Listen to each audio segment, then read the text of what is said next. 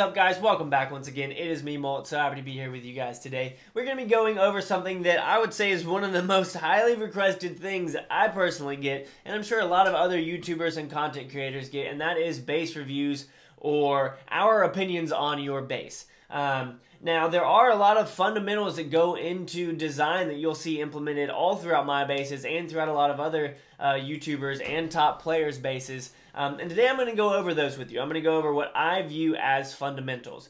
Um, so, no matter what you're trying to protect, whether it is your town hall, as you can see in this base, or it's your loot, um, you definitely want to have the most important thing towards the middle of your base, protected by the most amount of defenses. So you can see my town hall is in the middle of this base and it is surrounded on all sides by all of the defenses. Next most important thing, especially if you're in an active clan, if you're not in an active clan, it's not as important, um, but your clan castle, your clan castle is one of your most uh, valuable defenses because if you're in an active clan and people donate you clan castles, uh, clan castle troops, it can completely wreck uh, the enemy's attack. So it's very, very important to keep that towards the middle of your base as well. As you can see, uh, I have going on right here.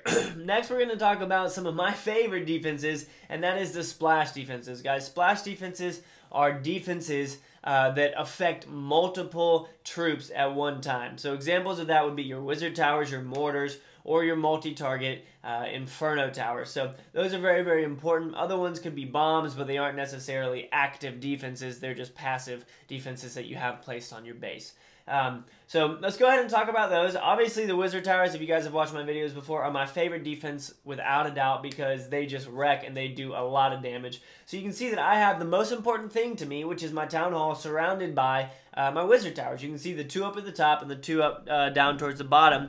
And you want to make sure that they cover as much of the base as possible. Now, their range is uh, not even close to the range of their other splash damage brother, the Mortar, but um, it is still alright. So try and cover as much of the base as you can with your Wizard Towers, but also make sure that you're covering uh, the important things about your base, which is, in this case, my Town Hall. Um, Next, when we go over to the mortars, you can see uh, that they do in fact cover probably 90% of this base. They're missing the corners, but that's all right because you just want to make sure they are covering the majority of the base. Um, so as you're at lower levels and whatnot, all this stuff still applies. It doesn't matter if you're Town Hall 5 or if you're Town Hall 10, guys. All these things that I'm going to talk about today are very important um, when it comes to designing your base and making sure that it is an effective base. Uh, next, we're going to talk about point defenses, guys. So like we said about splash defenses, we want to make sure that they cover the entire base um, so that you can affect the majority of troops that are attacking. So no matter what side anybody attacks from, they're going to be faced with every single kind of defense. That's, that's what's very, very important. Um, so next we have our point defenses, which are like our archer towers and our cannons. Our archer towers have one more range than our cannons do. So if you put anything back behind, you want to have the archer tower back and the cannon in front. As you can see over here, I've got an archer tower in the back and a cannon in the front. You also want to make sure that you spread them out all the way around the base so that one side isn't just protected by cannons and one side protected by archers because archer towers are air defenses and ground defenses. So it's very important to make sure that you have as much air defense coverage and ground defense coverage on all sides of your base. So you can see that I have archer, cannon, uh, and then archer, cannon, and then we can just continue our way around and see that we have another archer and cannon right here, and then just continue working our way around archer, cannon, archer, cannon, archer, cannon, all the way around the base. I've seen a lot of people who will just stack archers on one side, and then the bottom part of the base is not defended well against air troops. So that's one thing that you have to be very, very cautious of when it comes to designing your base. So um, we've gone over the splash defenses and how we want to make sure that they cover what we want to protect, uh, whether it's our loot or our town hall. And we also want to make sure that they cover the majority of the base. Again, with the point defenses, you want to make sure that your base is covered all the way around no matter what kind of attack you face, whether it's a ground attack or whether it's an air attack. That's why you want to have archers all around the base as much as possible. Um, next, we're going to talk about our air defenses. Now, towards lower levels, there aren't that many air attacks, so if you're at a lower level, you don't have to protect your air defenses, say, as much as you do um, your archer towers or things of that sort. So it's it really depends on what you're being attacked by the most. You can't fully protect against everything.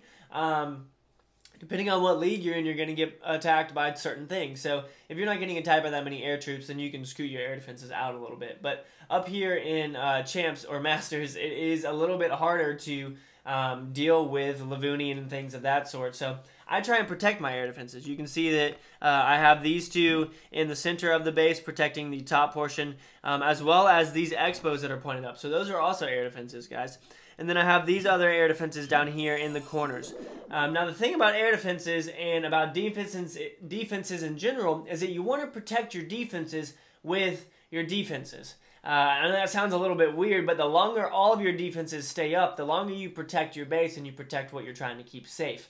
So as you can see right here, I have this air defense right here, and it's protected by another air defense in the form of an archer tower, and it's also protected by another air defense in the form of the inferno tower and that wizard tower. Again, I've got this air defense down here, and it is protected by the same thing. So you have to pay attention when you're laying out your defenses, like, okay, I have... Uh, air defenses that I want to protect, what could I protect air defenses with? I can't protect them with cannons or mortars because those don't shoot air troops. So when it comes to laying out your base, especially when you're trying to focus on defending against a certain style of attack, you have to pay attention to that kind of stuff.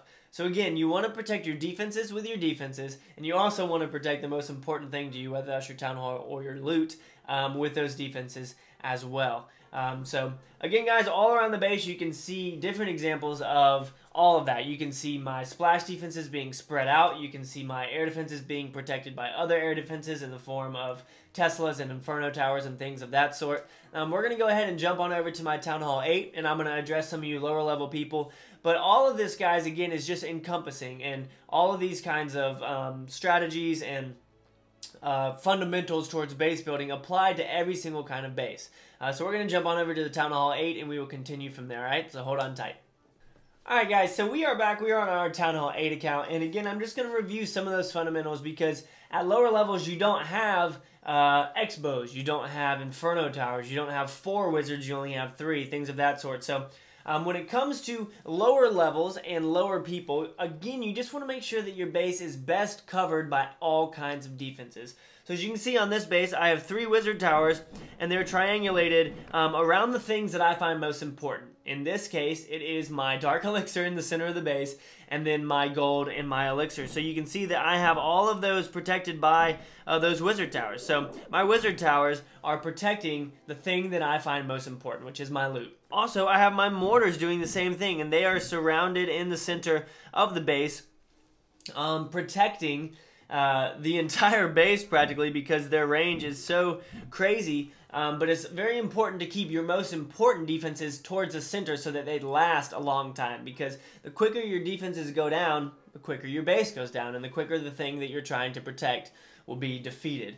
Um, so again, we're going to work our way around here, and you guys are going to see what I meant about point defenses. So we've got an archer tower, a cannon, an archer tower, a cannon, uh, an archer tower, a cannon. We've got an extra cannon up here, archer tower, and a cannon right there. So you can see that all the way around the base, I have archer towers and I have cannons. Um, and again, it's just important, guys, to pay attention to that when it comes to laying out your base, just making sure that the whole base is protected well and that it is covered.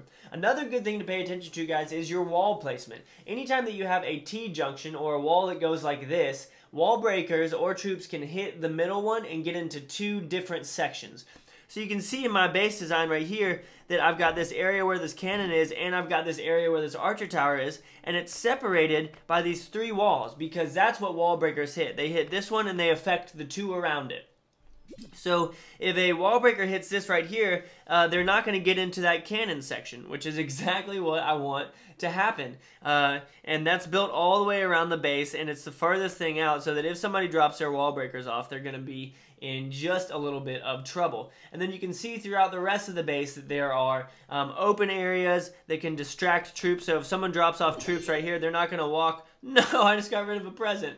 They're not going to walk towards uh, the walls or anything like that. They're going to walk in and around and be affected by those traps. Guys, so we've pretty much talked about all the defenses and their goals and how you want to protect defenses with defense, how you want to protect um, your loot with your splash damages and things of that sort. Um, let's go ahead and talk about traps. So traps are very, very important as well in this game, and knowing how to use them is really, really important. And you have to know what you're doing. So you have a couple different kinds of a couple different kinds of traps. You have um, the air bombs right here, which is the uh, red one, which does a splash AoE effect, um, but it doesn't seek. It just goes up and blows up. And then you also have um, where are those? then you also have the seeking air mines, which are right here, which are actually seek after the defenses. Next, you have giant bombs and you have little bombs. Both do pretty much the same thing. They explode when they're walked over. Um, and then lastly, you have spring traps, uh, and you also have skeleton traps, which kind of go in the bomb uh, category or in the clan castle style of category.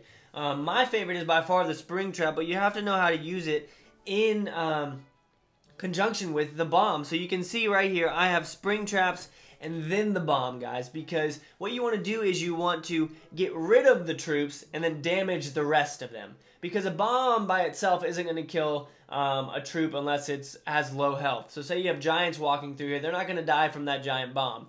Um, they're just going to get damaged. And then if you had your spring traps, they would get flung off and it'd be a waste of damage. So we want to make sure that you do is you get rid of the troops first and then you damage the rest of them. So anytime that you put spring traps around bombs, you want to make sure that the troops that are attacking you will get affected by the spring trap first and then by the bomb. So they're going to walk in here, they're going to get flung, and then they're going to take damage, then they're going to take more damage from this, and then they're going to take even more damage from that bomb. Um, and we do the same thing over here with these bombs, guys. Two sets of, uh, or two giant bombs next to each other is some serious damage. It will take out a mass of Hog Riders, a mass of troops, no matter what it is. Um, so anytime you do get the chance to put two giant bombs next to each other, definitely do it because it plays a huge role um, in destroying the enemy attacking troops.